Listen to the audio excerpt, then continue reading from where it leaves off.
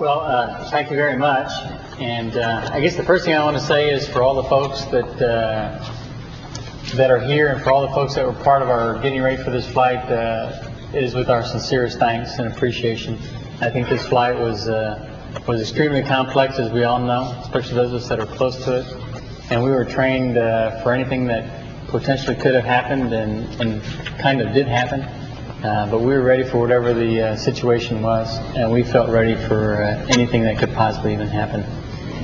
And uh, I noticed that uh, Mr. Abbey uh, published a note that I sent to him from uh, from Orbit, and uh, and it's the way we feel. Um, if there's a chance that we could take each and every person that would like to go with us, uh, we'd be more than happy to do that.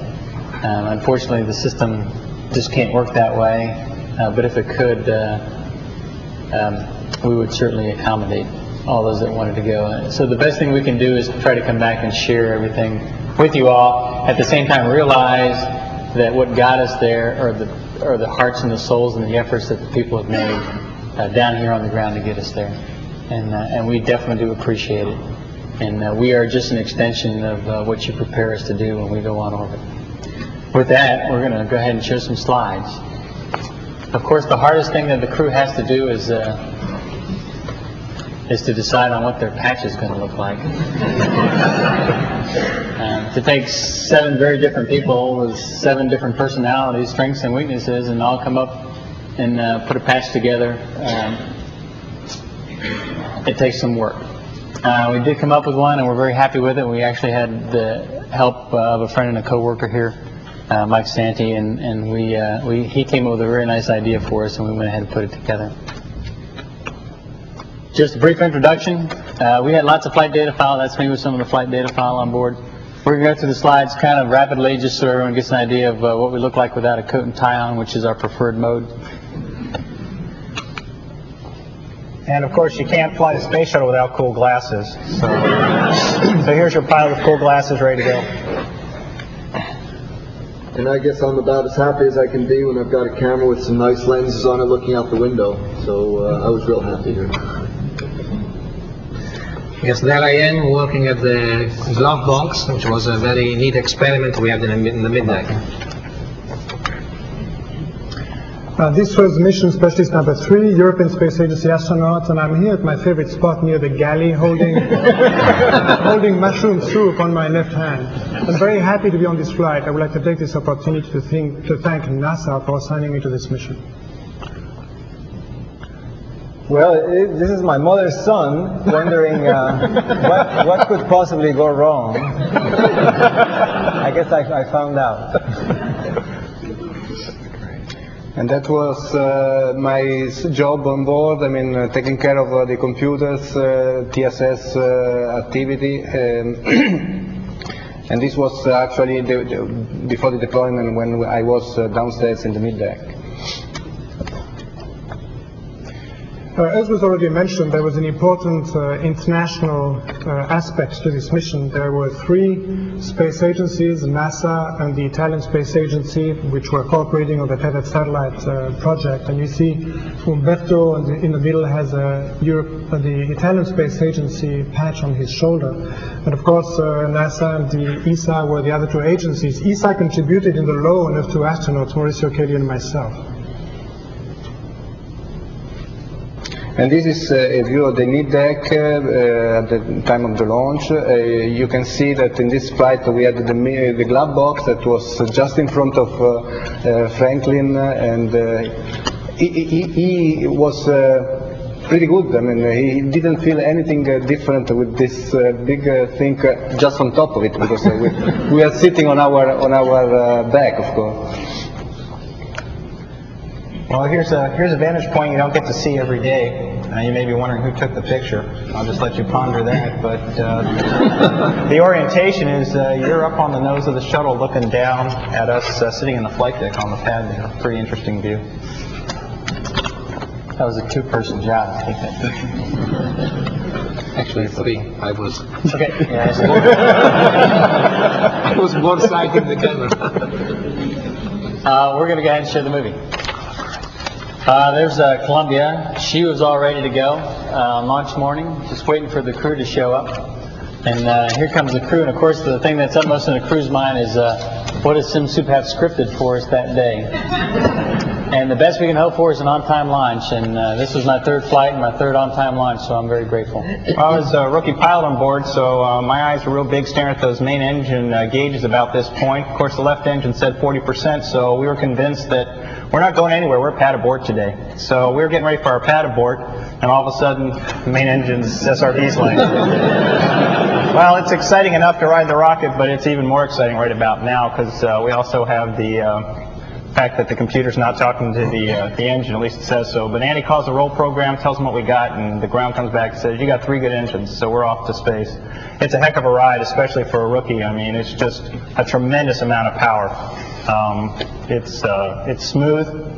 It, it shakes on the SRBs, but once you come off the SRBs, it's like an electric jet going as fast as you can imagine. Probably the most awesome sight during uh, ascent was leaving Earth's atmosphere behind and going into the darkness of space. Quite a ride. As soon as we get into orbit, we have to configure the shuttle for orbit operations. Uh, this is a nice picture of opening the payload bay doors. You can see the shadow of the starboard side of the shuttle on the door and the Earth in the background. There's some spectacular visual effects soon after you get into orbit. We're, we're uh, in the post-insertion period, we're using primary thrusters, and a lot of the ice which is formed in the main engines, because we're burning hydrogen and oxygen, oxygen is coming out as crystals. You could see the RCS fire in there. It's, uh, it's, it's quite exciting. And uh, next is uh, the view of the flight deck. The, one hour into the post insertion, you see somebody still uh, wearing the underwear. Uh, we, but the, the, we were uh, already hungry, and uh, you can see we had a, a big appetite at this point. Um, everybody felt great. The, and this is a view of the first sunrise on the on the cargo bay. On the foreground, you can see the Tedo satellite. On the background, there was a USNP. Well, a lot of uh, stuff to do, uh, lots of equipment to set up, computers, cameras, uh, vi video stuff, audio, lots of wires, and all of it uh, in preparation for the big moment, which was uh, the deployment of, uh, of the tether. And um, here I'm setting up one of our major computers, which not only helped us on the science, but also to keep in touch with the ground and, and also our families down on, in our homes. Next there will be some shots about uh, uh, uh, the boom deploy. We are very much into pre-TSS deploy activities. The first thing, of course, is to deploy the boom. The purpose of the boom was to basically take the satellite away from the orbiter uh, structure. this is an accelerated view, which normally would take about uh, 12 uh, minutes. The boom is an incredible piece of engineering. You can see it in this in these shots. You can see the TS, the actually actual tether in the middle and all the electrical wires. The satellite uh, was lodged on top of the boom, and just underneath the satellite you could see what we call it a vernier motor, which, which was basically an auxiliary motor which helped uh, extract the wire. We had an attitude, uh, this kind of attitude, we flying uh, basically backwards uh, with the nose pitched down about 40 degrees, and that was due to the particular uh, dynamics of the deploy profile. And this is the initial flyaway of the satellite. It's pushed by two sets of two Newton thrusters, so very small thrusters pushing that uh, half metric ton satellite upwards, uh, cold gas thrusters. Uh, everything uh, happens very slowly at the beginning. This is accelerated three times, but the velocity initially was about one centimeter per second. Everything went very well at this time of uh, the deployment. Uh, everything was controlled, and you see here a little later the tether is taut, which is always something we desire to see uh, because it's much more controllable this way. Slight oscillations, but we were predicting those, and that was not a problem. So very controlled initial phase of the deployment of the tethered satellite. We're going to see a, a, a few sequences here of the uh, phases of deployment. This is the early phase, and as you see, uh, it looked pretty straight, uh, low tension, and you can see a little bit of the wiggles uh, of the tether in the bottom but everything completely nominal. Uh, the tether speeds up and it gets to a high speed of about 2.2 meters per second uh, maximum. And as it does that, uh, it begins to, of course, uh, uh, develop a little bit of a bow. and you can see the bow as it begins to, uh, to grow, as the tether gets longer and longer. Of course, as the tether gets longer and longer, also begins to generate more and more power. We were generating uh, quite a high voltage uh, and, of course, uh, able to collect lots of current. And uh, all in all, uh, on the order of about a couple of uh, kilowatts of power were, were being generated. You can see also the progression of the bow at this, in this long shot picture near the, the satellite itself. And at 19.7 kilometers, uh, we were we were looking at the shape of that bow. Uh, when I started to notice, you look at the left-hand side, uh, some waves going up and down the tether. Uh, clearly, the tether had gone slack, either because of a jam or a tether break. Uh, looking back, we quickly saw that, in fact, the tether had broken. This was a very uh, it's a big shock. It's, a, it's kind of an empty feeling in, in the pit of your stomach when you look and you realize that there, there is the tether moving away from us at about 80 feet per second, and you just wanted to reach out and grab it and pull it back. But of course, there was nothing we could do. There you can see the end of the tether coming up in the lower part of the field of view. And um, so at, at this point, of, of course, uh, we have some procedures which we're trained in. Uh, basically here, uh, at this point in time, there's four of us that were awake, the four veterans, the three rookies were sleeping. And of course, the very first concern we have is to make sure that none of this uh, ball of tether starts coming back towards the orbiter. Uh, we were concerned pre-flight, and we did a pretty sure, good share of training pre-flight that if we had a ball of tether coming back at us, we'd do the proper evasive maneuvering to make sure we didn't have a big problem. But it all stayed with the uh, satellite. Uh, the tether actually broke inside the boom, so there was nothing required on the orbiter side of the house other than to uh, monitor the satellite. And this is all that's left. So that was left just a stub of uh, tether and enclosed uh, um, a view with a very powerful lens we had. We could see that it was charred and it was burnt. And this was uh, further confirmed later uh, uh, with the hardware at the Cape. There was nothing much uh, to do except to retract the boom and, and really get ready for, for the remainder of the flight, which was uh, concentrating on, on microgravity science, and it was a whole mission to do. These spectacular views actually were taken from the ground by Paul Maley from, uh, from uh, MOD. He was in Australia and he was able to, to capture a glimpse of the tether, and you even see a, a meteorite go by uh, just for a glimpse there. Uh, so we are very appreciative to Paul for being able to do that. After the tether was over, we still uh, used the top camera that was supposed to, to be used during the tether activity while we had uh, um, current flow in the tether to observe uh, glowing. And we used to point to the earth glow and to the um, lightning that we, we had during our night pass. Uh, a lot of things behave strange in weightlessness. You, you've seen pictures probably of, of uh, astronauts uh, doing strange things with water drops. They, they behave very counterintuitively. Bud has a little goldfish here, which he's putting in a tank. Of course, and, and, and we can blow, blow air bubbles inside the water bubbles. But other things behave strange too, such as flames, combustion, and, and we did these combustion experiments in orbit. And here is the place where we did them, uh, this uh, glove box facility which lived in the mid-deck, and in it we actually burned different kinds of materials. This is one of them. It's uh, just a, a birthday cake candle, just like what you see on the ground, but the, the flame looks a lot different. It's more round, and it's more uh, determined and controlled by the amount of oxygen in it in its proximity. And when the uh, uh, flame extinguishes itself, uh, the, the smoke just stagnates there inside the cavity, just like what you see. It's not dominated by convection or anything like that. The flow has stopped. If we actually induce a flow, you can see what happens. It's very laminar, very slow, and we use this to test some of the new uh, generation smoke detectors. This is another one of the combustion experiments uh, called Thrifty. Uh, you can see all the little numerical data is giving uh, temperatures of the probes you can see in the flow. It's a cylindrical uh, paper type sample. And there's a very uh, low flow. The little ball on the left side is showing you the flow in centimeters per second. And uh, this, this sort of looked like a jet engine to me. And here comes another uh, combustion experiment, RITSI. Uh, we are burning paper samples. In this case, a flash lamp is used to ignite the, the sample. And uh, the setup was such that there was uh, high flow circulation from the right, and uh, in fact you see that the flame tend to go to the right. That is quite uncommon with respect to the experiment we, we do on Earth, while the flame is trying to go the other way. And you see that, in fact, it, the, the flame is on the right until all, all the paper is gone, and then it starts to move on the left. RITSIG, which stands for Radiative Ignition and Transition to Spread, basically had uh, used uh, uh, paper samples, but uh, two different types of uh, investigations. One was a flaming investigation, which you just saw, and the next one we'll see was basically a smoldering investigation. They were carried out inside this uh, enclosed compartment, which was called a glove box, which provided a safe environment for combustion experiments.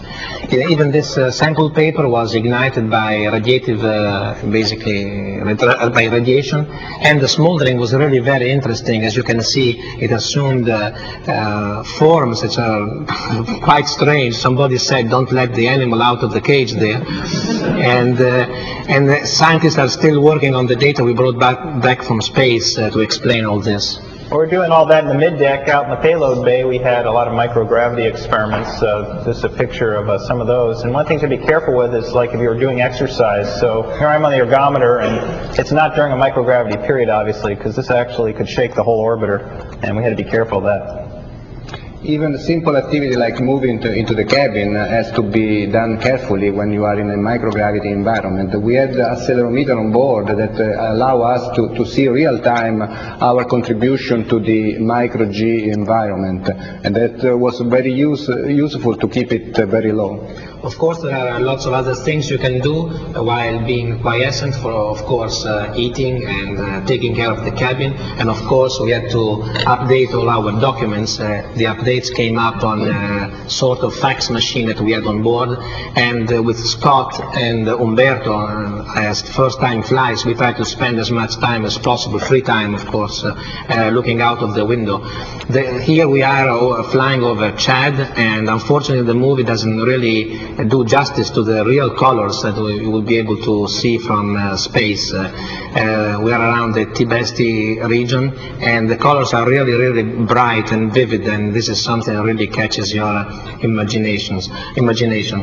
After this, we'll move on to the Nile uh, Valley, which is, of course, one of the places that is very easy to detect from uh, from space because you can really see the difference between uh, the green of the area around the Nile and of course the desert uh, around it. We try to ta- take shots of the pyramids several times. Unfortunately, we al- always overflew the pyramids uh, around noon and, and, so we couldn't use the shadow to detect them. And strange enough, there was always a, a thin uh, cloud layer over, hanging over the pyramids. Maybe next time.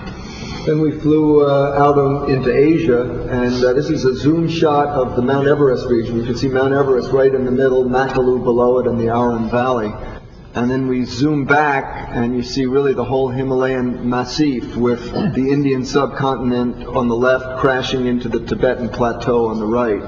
And if you take a strong zoom lens, uh, you aim it at these mountains. This is the easternmost part of the Himalayas. That's the top of the world. And we're overflying China now, actually out over the Pacific Ocean, and you can actually see the Himalayas set behind the horizon. It's a pretty spectacular view. It really puts you in orbit. One of the very important things to us on board, obviously, is uh, our personal mail from home. This is just a picture of uh, uh, coloring that my daughter did. This is what a water dump looks like in space. The water immediately crystallizes into ice crystals, and uh, as we are crossing the Terminator, it's really a beautiful uh, sight. Um, we were doing this periodically to maintain the, water in the tanks on board the orbiter within predetermined limit. And this is Jeff and I looking out the window at the sunrise. And during the night, we had a lot of moonlight during the nights, and you see these crystals of ice that are following us and are twinkling uh, in the moonlit over the moonlit landscape. Really beautiful view during the night. Well, it's been uh, one heck of a journey. Um, we've, we've done a lot of experiments. We've seen a lot of great sights. And uh, now uh, you can see the folks on your flight deck. You're probably with his glasses again, ready to go. And uh, we're already on the flight deck uh, in our suits, ready to come on home. And the same uh, situation seen from the mid deck. We were very busy getting ready for re-entry, and you see a lot of stuff floating around, included our parachutes that are still are still up in the air. You see, and uh, we we have to do this twice because of the, the uh, extra day. Uh, this is the last uh, pass over the Himalaya, and you see the full, the full moon, or nearly full moon setting. Uh, it's always very impressive to see how fast the moon and the sun rise and set. And this is the view of the moon sets with a telephoto lens, powerful telephoto lens, about 40 millimeters. And due to the differential refraction in the atmosphere, you have the whole moon that is completely crushed as it uh, penetrates the lower layers of the atmosphere. Very beautiful sight. And now we're uh, re-entering. If you look closely, you can start seeing kind of a red glow out, out the side window there. As exciting as launch was, re-entry was just as uh, fascinating, um, especially as you come into the uh, in the atmosphere going Mach 25. Um, the sky turns a pink and then a deeper and deeper uh, red and orange. And then you break out, and then you can see uh, below uh, going a mere Mach 15 over Houston. Uh, we went zipping by, and Andy was nice enough to leave us in a right bank so I could look out my window. Those puffs of smoke are the uh, RCS jets that uh, shut off just prior to uh, Mach 1 as we're coming into the Kennedy Space Center. We did have a wave off day, but finally it was a pretty day. There's the east coast of Florida going by Scott's right window there. And we're in a right-hand turn here to land on KSC runway uh, 33, heading towards the north. Atmospheric conditions were great that day for the folks on the ground to uh, see us as well as when they heard us when, the, when we did our double sonic boom. So we made some nice contrails coming around. The vertical assembly building's out on Scott's right window again. This is over his shoulder. Uh, as we come on back in, it's the standard uh, world's worst glider at this point, 300 knot dive, 20 degrees down to the ground probably, and Scott finally gets the gear out down there at about uh, 350 feet. But that was just like we had planned. And at that point, uh, we continually, continuously decelerate as we're coming across the runway. The shuttle training airplane, which had been giving us a lot of our landing data previously, is uh, coming by our left-hand side there. Uh, tried to make the black marks there, but landed just a little bit short. Uh, some wind shears that day and headwind helped me do that. We put the drag chute out to continue the deceleration process. Uh, it's a real hard thing to do to lift your legs up to get on those brake pedals, and you got to do it because you don't want to look bad on CNN. So I get the legs up there, get on the brakes, uh, but the de- deceleration from the drag chute provides us uh, quite a bit of deceleration, so it's not that hard of an effort. We dropped the drag chute off at about uh, 60 knots or so, uh, just prior to uh, coming to wheel stop, and we were just real happy to be home. A few minutes into post-insertion is a very busy period as you can- see here and we are trying to get rid of our suits and um, make room for all the stuff that we have to stow. Well, uh, there were three rookies on the flight, uh, and this is uh, just after getting to orbit, and as you can see, uh, everyone said, you know, be careful, you may not feel good. We all felt great, so I decided to just come on diving down the hatch into that mess downstairs to let these guys get me out of my suit. And I'm probably smiling because I know I'm going to get out of my suit here soon. Well, uh, unpacking for seven people for 16 days in that little tiny place is, is a big uh, it's a big job, and we had to make the airlock uh, the place to put all the stuff, and of course it also had to be uh, uh, somebody's uh, bed, bedroom. So we we have to make provisions for somebody to actually sleep sleep right in there. We are already into the payload uh, operation activity. You can see the satellite just left uh, the top of the boom, and on the satellite you can see the, the nitrogen, uh, small nitrogen jets that they use to provide some initial tension for the tether. This is a view of the aft flight deck during the initial flyaway of the satellite, and as you see, there was a very high density of bodies in the aft flight deck. uh, Franklin and Scott were in the forward uh, flight deck, and you see Andy on the left uh, flying the orbiter. Jeff was in the middle, uh, guiding us on the procedures and using the binoculars. Uh, I was uh, bus- busy with uh, uh, operating the CCTV cameras, and uh, um, Maurizio is using a laser rangefinder to determine the range and range rate of the satellite. So it was very busy. But everything went well in this initial deployment, as I mentioned before. But each of us had uh, certain procedures he had to perform in case uh, we uh, were going to have problems. So it was a, a big team effort. Uh, the satellite actually, uh, as it left, did not go completely straight up the boom uh, like we'd liked it to. Um, and on STS-46, the first flight of the tethered satellite didn't do that either, but it was such an easy thing for us to do because we had seen it and practiced it so much in our simulations that having the satellite go out a little bit cockeyed was just a simple thing to do. And all I needed to do was keep the orbiter, I had to do some maneuver, but keep the orbiter within a little bit of a cone uh, to make sure that it didn't get too far away from us.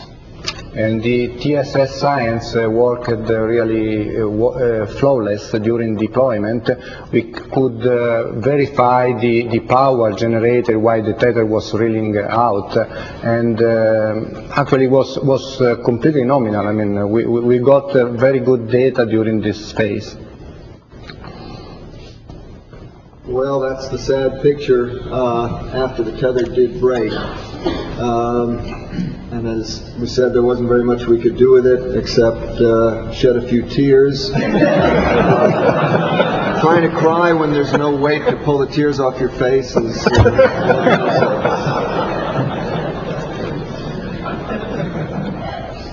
Well, we had a, a few opportunities to actually uh, take a look at the tether, um, fly over, uh, and this is one of the pictures uh, taken with long uh, lenses that we had. And uh, I, I should also say that uh, serendipity plus uh, the uh, quick response of the ground controllers uh, was able to define a new a new type of science. Uh, I guess we call it the detached science. And um, they actually turned on the uh, instruments in the satellite and were able to uh, do a whole bunch of uh, new observations that were not uh, were not expected.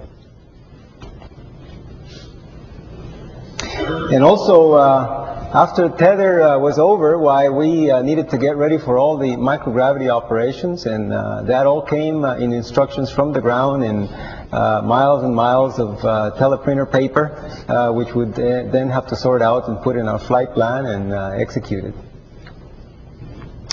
Here we are very much into the second part of the mission. Uh, we, start, we started concentrating on uh, mid-deck activities. We have basically three uh, investigations uh, that all had in common uh, burning. We all became uh, pyromaniacs in one way. And, and we use this uh, mid-deck glove box for, uh, to provide safety for the, for the shuttle. This is a montage of the sequence of uh, uh, burning. In particular, this experiment is uh. As you can see, the flame, uh, and we used, uh, normally we used uh, video cameras to catch the whole uh, burning sequence on, uh, on video, uh, videotape, and on top of the mid-deck glove box we had a 35 millimeter camera to take these shots. What is really astonishing is that the flame is really, tends to be spherical and is counterintuitive, it tries to move uh, into the basically upstream instead of downstream. The flow in that picture was coming from the right side. We had uh, an immense amount of uh, photo TV requirements for all of our payload, uh, plus we some of, some of the events to do just with uh, the public affairs. I felt like we had about as much uh, electrical outlets and cords on board as we did uh, tether that was floating up there somewhere in space. Uh, so it was a it was quite a, handful and very crew intensive getting ready for all the photo TV requirements. A very uh, modest experiment, uh, but nevertheless a very important one, was uh, carried out in protein crystal growth and was the first experiment from uh, uh, a joint effort between uh, the countries of Latin America, among the countries, and it was an effort to look for potential drugs to combat Chagas disease, and we'll be looking to see more of this in the in the years to come. You can't see us as well as we can see you down here sometimes. uh, but this is just a uh, shot of the Houston area. The Intercontinental's up there on the uh, upper center, and uh, Johnson Space Center, area is down there towards the bottom right. Going to space, I was really surprised how easy uh, it is for the human body to adapt uh, to different uh, environments, and I think this picture uh, shares basically the same uh, flavor. This was uh, was taken of the Sahara. In the Sahara, you can see the dunes there, incredible view, and on the bottom right corner there, there there's a human settlement. This is a good shot of the Nile River. On the upper uh, left corner uh, there is the Luxor uh, temple. Um, the big contrast between the green part and the surrounding desert give you an idea how important is this piece of land for, for Egypt. Almost 95% of the people lives in this area, even though it's only 5% of the entire uh, land in Egypt. A little later in the flight, uh, we got this uh, wonderful picture. You're looking at the southern tip of India, and you can see the little land bridge going over to Sri Lanka, and it's a fairly unusually uh, clear day in Sri Lanka. It's uh, just a gorgeous shot. Uh, this is a view of uh, East Himalaya and what I would call the big bend of Brahmaputra. Brahmaputra is a very long river, about 1,800 miles long, and it starts in the high Tibetan plateau uh, close to the top of the picture, then flows to the east, which is toward the bottom of the picture, uh, north of the Himalaya, then makes a bend through these very narrow gorges that you see in the middle of the picture towards the left, and then you see it takes a course uh, to the west on the left-hand side of the picture. It was amazing to see the different climate that you have here. You have the high Tibetan plateau, which are rather dry. You have the Himalaya with all these high mountains and uh, ice and snow, and a very wet area on the left-hand side, northern India and Bangladesh, that gets up to 400 inches of rain per year. An amazing picture. And here, if we follow the course of the, of the, Brahmaputra from the lower end of the picture towards the center, then it turns to the left and it joins with the Ganges that comes from the upper right corner of the picture uh, through Bangladesh, and then it goes via the area of Dhaka, the capital of Bangladesh, in the Bay of Bengal. Really a very, very clear uh, view of this part of uh, India and Bangladesh. Very unusual. Uh, for all the beauty of the Himalaya, uh, as you fly out over China, you see here the Red Basin where the uh, increasing population and the use of coal-burning fires has uh, created a pollution which has been measured now to be increasing over the last 50 years. We have extensive records going back that long, and so it's, it's almost like a, a laboratory to study the effect of, of human beings on their environment. Well, the extra day in space provided us with a, this unusually clear uh, view of Costa Rica. You can see almost 90% of the country, uh, both coasts, and is basically looking from north to south. Uh, you can see the under the clouds in the center there, the uh, city of San Jose, uh, my hometown, and you can see my, my home is right over there to the left.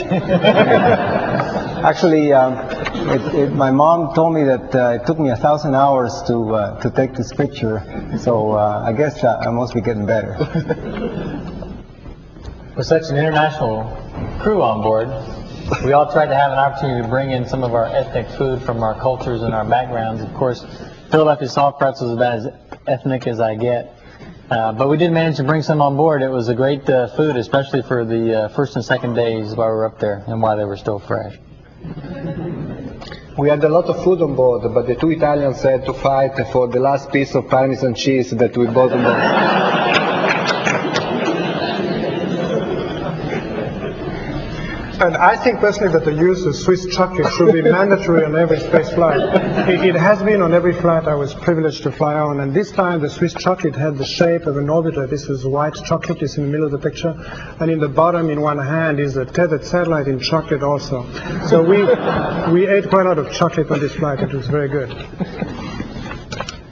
Well, towards the end of the flight, when uh, we were getting a little tired of space food, Franklin whipped up some dynamite burritos. He's got all the ingredients here, and we thought you'd like to see just uh, how you make burritos in space. So uh, we've got the refried beans, which uh, he, brought up uh, in natural form, and uh, spread that on the uh, tortillas, which tortillas actually are, are great in space. if you don't eat them, you can make frisbees out of them. Uh, put on a little cheese, which you have to squeeze out of a tube, but that's space flight, and put on a little taco sauce, Tabasco to taste, put in a toothpick in the oven, and whammo.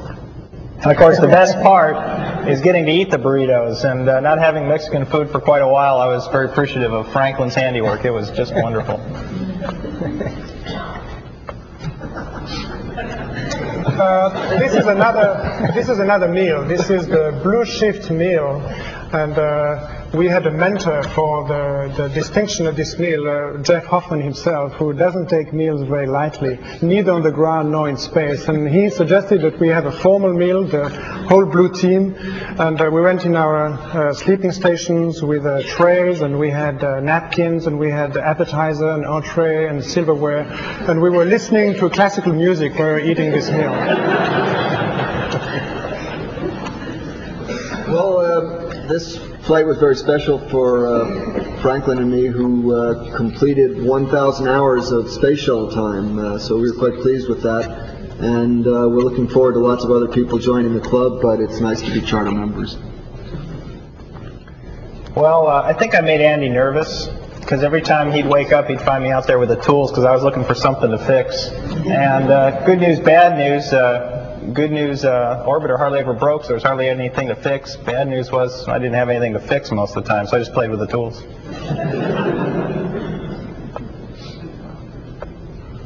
I just noticed a shot uh, when we finally got together again. Uh, there's a little gray blotch there on my head. It wasn't there before the flight.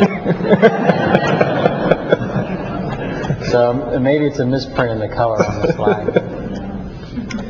Flying in space, especially for a first-time flyer, is also also means a lot of emotions that are very difficult uh, to to transmit or to catch, uh, basically it with words or uh, pictures. And uh, this is basically what what what this picture is standing for. I mean, there's a beautiful view of the Earth and everything that represents. But flying in space is no less emotional for a third-time flyer like myself, or for people who have flown thousands of hours in space like uh, two of us. This is a view at, at night, uh, shortly before sunrise. We had the cargo bay illuminated by the moon, and you see the Earth underneath with the air glow. And uh, the sun is starting to illuminate the tail of the orbiter, and you can still see stars. In fact, the stars, the two bright stars that are just right at the tail are Alpha and Beta Centauri. And then further to the right, we had uh, the Southern Cross. And you, you see also in the atmosphere on the left-hand side the beginning of, uh, of dawn just before sunrise. Really beautiful sight. It's incredible. We, we try to share with all of you some of the, the beauties of spaceflight, which, which does make it so special for, for all of us who have been privileged to, uh, to be up there. And of course, 16 times every day you see the sun rise and the sun set. Uh, and the colors are a little different every time depending on the atmospheric condition, but it's always beautiful. And this is a kind of a slow motion montage of what the payload bay looks like as the sun gradually sets on it. That's kind of a uh, nice thought to bring us back to Earth. Uh, spaceflight, uh, of course, uh, has all the uh, thrills, chills, challenges, and rewards that anyone could ever want. It's an honor and a privilege to uh, to have the opportunity to go. Um, but as much as we do go and as much as we enjoy it on board, it's it's also uh, extra special, and we certainly look forward to coming home.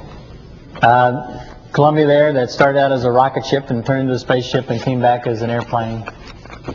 Uh, albeit it's a different kind of airplane than most airplanes, but um, that was our home for 16 days, and uh, and we were happy to be here, and the crew was doing doing great, and we did our walk around and uh, tried to express our appreciation for uh, such a such a great machine.